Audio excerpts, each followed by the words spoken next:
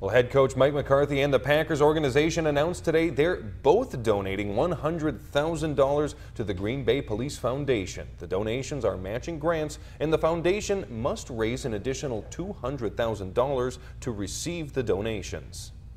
This is really going to allow us to, to build those relationships, to have those youth programs, to really help take care of our community and build a relationship between the community and the police department that we think is so important here in Green Bay and across the country.